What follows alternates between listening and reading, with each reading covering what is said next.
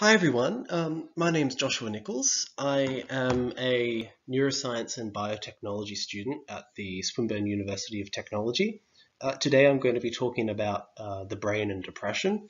Uh, most notably, I'm going to be talking about the current science of depression, the uh, limitations, and more importantly, the um, new paradigm which I'm working on.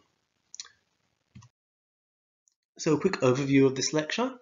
I'm going to be talking first of all uh, the definition of depression as long as as well as the symptoms as defined by the DSM-5 by the American Psychiatric Association. I'm also going to be talking about the causes of depression.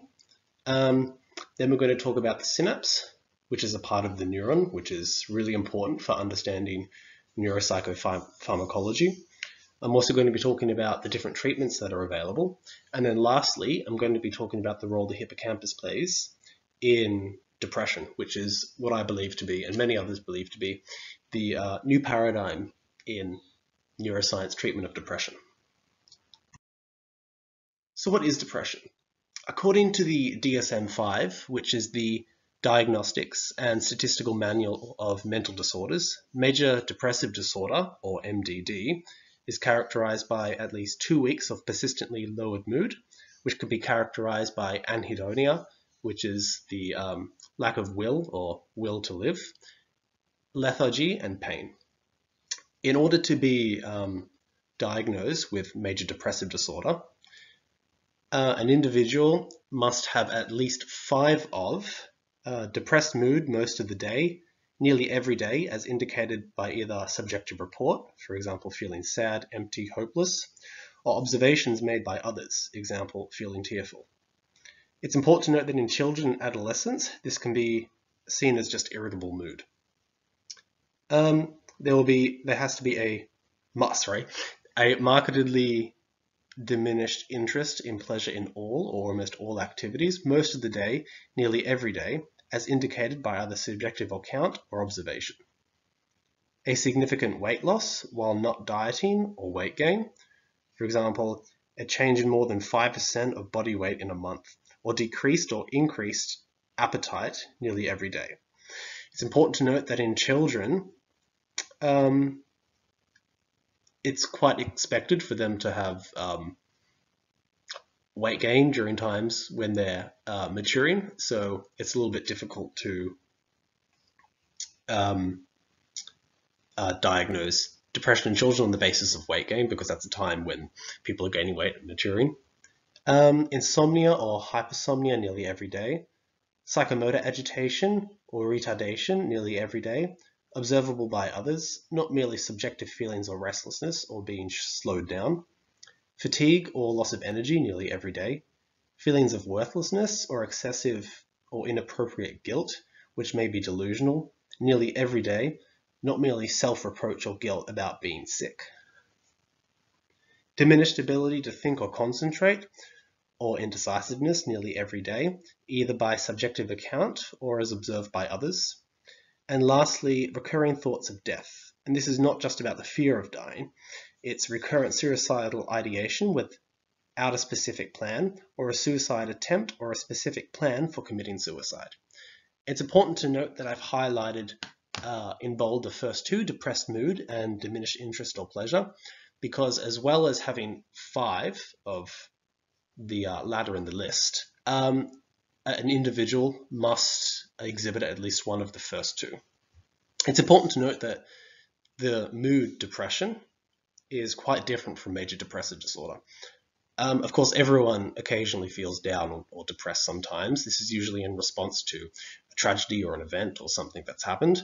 Um, however, compared to major depressive disorder, um, the depressed mood is generally uh, short-lived um, and isn't characterized by all of the um, symptoms that I suggested. And again, it has to be going on for at least two weeks.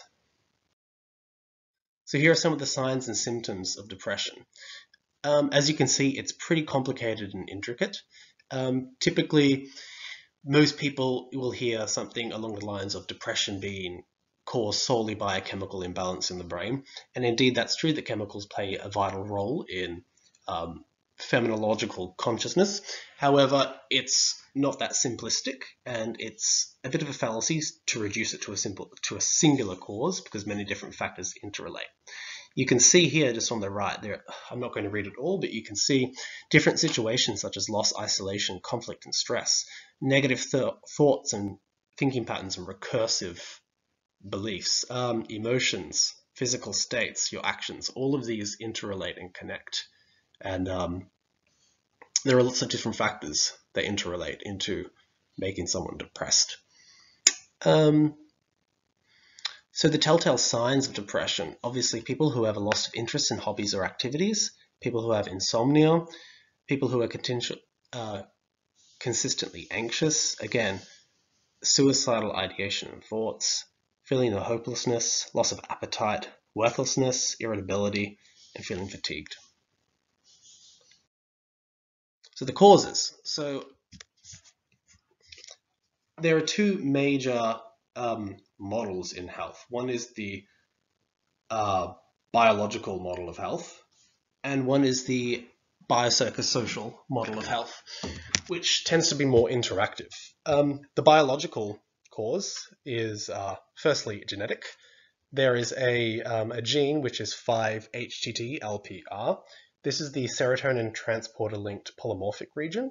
Uh, this codes for serotonin, which is a really important neurotransmitter in the brain. And we found that in depressed individuals, uh, they actually have shorter alleles on the gene which code for this, um, which code for the protein, which code for serotonin, sorry. Um, BDNF, this is the brain-derived neurotrophic factor protein. Uh, this is really important in neurogenesis, which is basically just a fancy way of saying um, neurogenesis is the um, proliferation of uh, brain cells, and this is actually what goes on in what I'm talking about later on, which is the um, in regards to the hippocampus. Um, and also neurotransmitters such as serotonin, dopamine, and norepinephrine. So some of the social or environmental uh, factors include childhood trauma, um, childhood trauma is really important because this is a time when, when you're a child, when the brain is highly plastic and it's learning um, its behaviors in response to stimulus. And so if someone has had a very traumatic childhood, that's going to be hardwired into their brain later in life. So it's really important that during childhood uh, age that um, uh, really important that the child has a lot of um, enriching stimulus uh, during those years and there isn't a lot of trauma going on because that can really impact them later in life. Also, sustained stress. Um, this is something that is really highly correlated with shrinkage in certain parts of the brain, which I'm going to talk about soon. Um, this is in response physically to cortisol and gluco other glucocorticoids.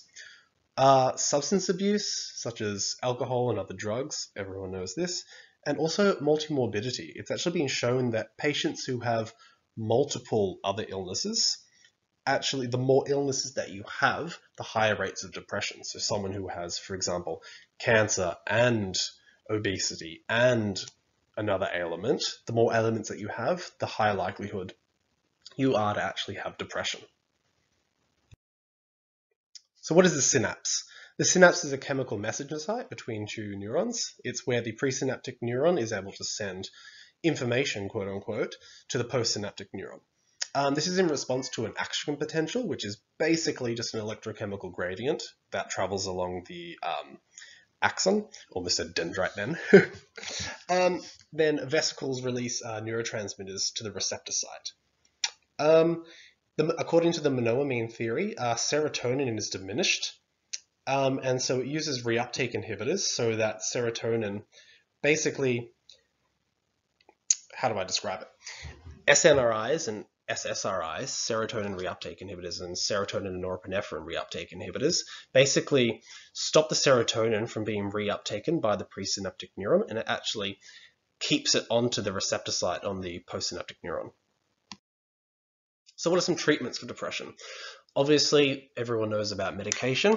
I really want to stress that medication is actually best used in conjunction with other therapies. The more treatments you use at once at the same time, the more holistic it is, the better the outcome. Um, so what type of medications are there? There are SNRIs, which are serotonin and norepinephrine reuptake inhibitors. There are SSRIs, which is serotonin selective serotonin reuptake inhibitors, um, MAOIs, which are monoamine oxide oxidase inhibitors, and there are tricyclic antidepressants. Uh, the former two are the most uh, recent, uh, recently produced uh, medications. The latter two generally have quite a lot of, although they work very well, they do have quite a lot of um, hmm, negative uh, impacts and contraindications. Uh, in severe cases, um, oh, and I forgot to list one. There's also lithium that can be taken, but there are a lot of contraindications with that one. Uh, electroconvulsive therapy, that should be ECT, not ETC. Uh, this is used in severe cases. And this is where you actually basically, in layman's terms, shock the actual physical brain with electrical currents. Uh, therapies include psychological, such as cognitive behavioral therapy, talking therapy, and counseling. Uh, there's mindfulness or mindfulness-based cognitive therapy, where you base it's almost like meditation, and uh, lifestyle managements. Okay, so now up to my favorite one. What is the hippocampus? So the hippocampus is a part of the brain which regulates uh, mood, memory, and emotion. It's important for the formation of short-term memory into long-term memory. And it's located like a little shoehorse, shoehorn thing around the limbic system, which is basically an inner part of the brain. Actually, the name of the hippocampus is derived from, I think, the Greek word for seahorse, I believe. Um, and it's been found that in depressed individual, it's significantly smaller, up to about 5%. Fortunately, uh, not all is lost. This ablation can be uh, countered by therapies, and it's actually been shown that patients who undergo remission have what's called neurogenesis, which is what I described before. Um, in the dentate gyrus, um, P221CIP1, which is a cyclin-dependent um, kinase inhibitor, um, this actually inhibits the G1 to S phase in mitosis, and it inhibits cell proliferation in the subgranular zone of the hippocampus. Um, since patients who undergo depression um, have this area of the brain actually regrow, it's suggested that therapies, such as tricyclic antidepressants, it's been shown, um, actually inhibit P21 CIP1, which inhibits cell proliferation. So logically speaking, it seems as though that inhibiting the inhibitor would allow the actual hippocampus to regrow. This is a pretty new area um, in neuropsychopharmacology, and so part of my research is focusing on medications and other therapies that help to regrow this part of the brain. Uh, thank you for uh, listening to my lecture, and if you have any questions, uh, please email me on the homepage.